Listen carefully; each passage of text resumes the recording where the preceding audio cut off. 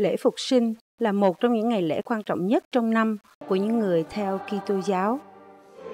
Riêng đối với những giáo dân tại giáo xứ mẹ Việt Nam, mùa lễ Phục sinh cũng là lúc mà họ làm lễ dỗ Đức ông Phêrô Nguyễn Thanh Long, vị sáng lập ra giáo xứ. Và năm nay, vào ngày 30 tháng 4 năm 2011 vừa qua, cha chánh xứ Linh Mục Vũ Ngọc An cùng các vị linh mục khác và giáo dân của giáo xứ mẹ Việt Nam đã tổ chức trọng thể lễ dỗ năm thứ ba cho vị lãnh đạo tinh thần của họ là Đức ông Phêrô Nguyễn Thanh Long. Cha chánh xứ Linh Mục Vũ Ngọc An đã phát biểu. Hôm nay trong à, ngày à, dỗ 3 năm của Đức ông thân yêu của chúng tôi thì à, giáo sứ có tụ họp lại với nhau để cùng tưởng nhớ những công ơn của Ngài. À, ngồi ở trong ngôi thánh đường do chính tay chính công lao của ngài rồi những sự lo nghĩ của ngài đã xây dựng nên. Chúng tôi uh, uh, và và rồi nhìn thấy anh em chị em thương yêu nhau. Chúng tôi tưởng nhớ tới biết bao nhiêu công ơn của ngài trong 33 năm trời uh, để uh, Ờ, có thể ờ, đưa tất cả mọi người lại chung với nhau như vậy. Chúng tôi cầu xin ơn trên. À, như là ngài mong ước ngài hằng mong ước là được về với Chúa được ca ngợi Chúa. Chúng tôi xin Chúa trả công cho ngài biết bao nhiêu công ơn của ngài cho ngài được toại nguyện cái lòng mong ước là được về với Chúa. À, xin quý ông bà và anh chị em hợp ý à, cảm tạ Chúa với chúng tôi cho cuộc sống của Ngài ở thế gian này.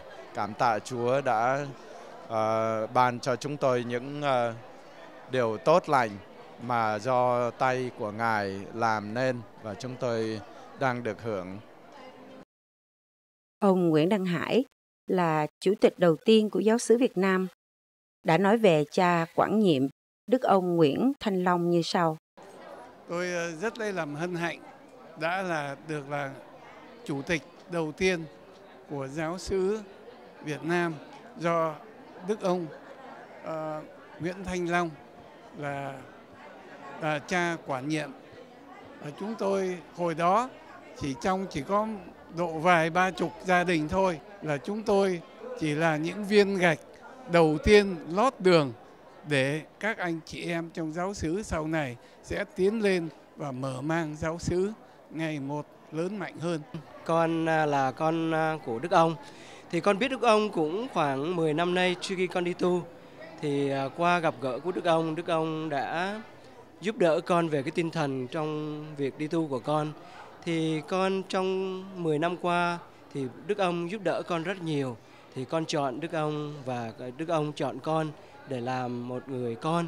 Thì sau những năm biết Đức ông, Đức ông dạy cho con nhiều cái lẽ phải của đời hay là về cái nền đảng của người Việt Nam ở đây như thế nào thì qua việc của Đức ông con học hỏi cũng được về nhiều cái um, văn hóa của người Việt Nam và Đức ông đã đặt giáo xứ ở đây một cái nền tảng cho cộng đoàn Việt Nam ở đây.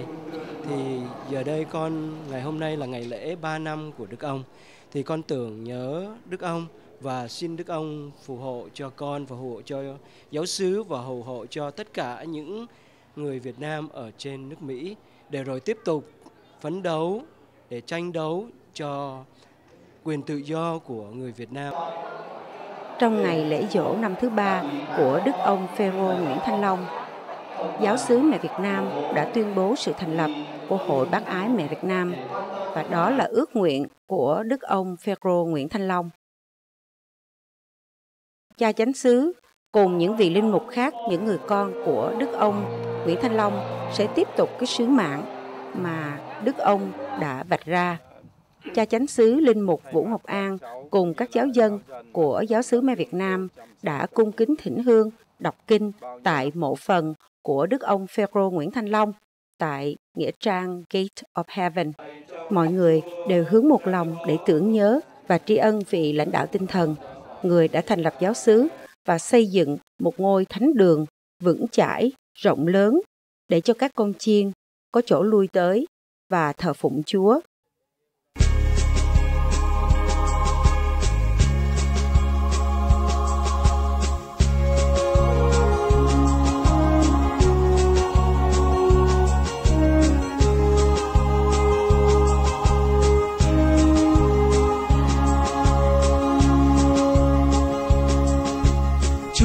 đã gọi tôi về.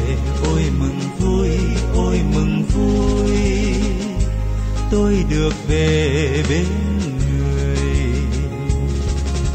Chúa đã gọi tôi về. Ôi mừng vui, ôi mừng vui. Tôi được gần bên người. Tôi được nghe lời đấng nghiêm từ trần gian, tôi được ca bài hát thiên đàng. Tôi được ăn những trái trường sinh chúa đã gọi tôi về, ôi mừng vui, ôi mừng vui. Tôi cười to gọi tôi về. Ôi mừng vui ôi mừng vui. Tôi được sống đời đời.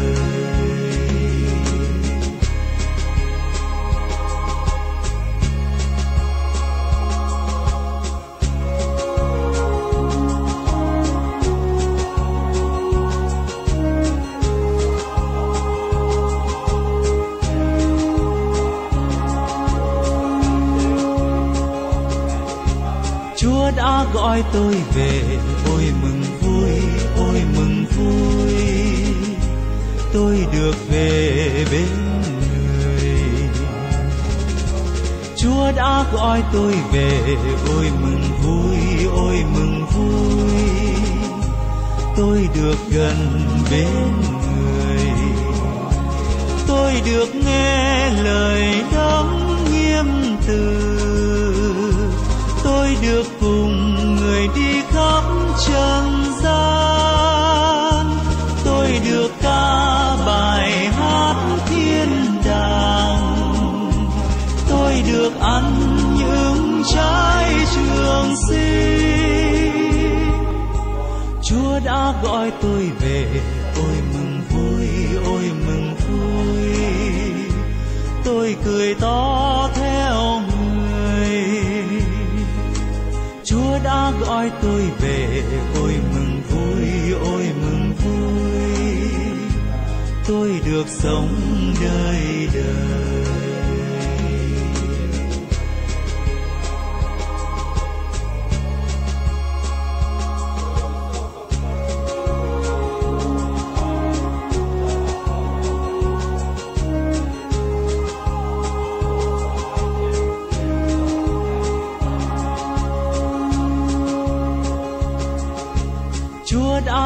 Tôi về.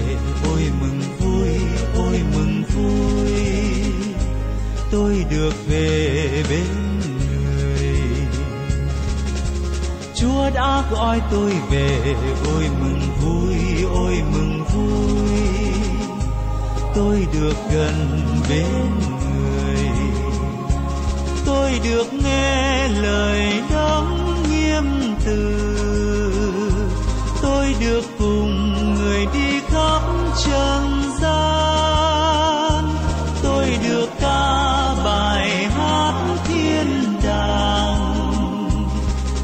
được ăn những trái trường sinh chúa đã gọi tôi về ôi mừng vui, ôi mừng vui. Tôi cười to theo người.